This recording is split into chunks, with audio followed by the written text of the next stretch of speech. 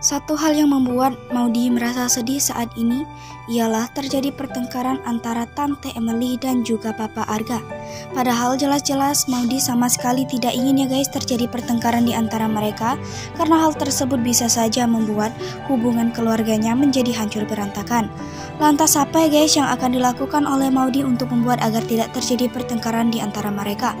Jangan lupa saksikan terus kelengkapan ceritanya di sinetron Love Story setiap hari hanya di SCTV. Dan Mimin pastinya akan update terus info-info terupdate lainnya di sini. Terima kasih.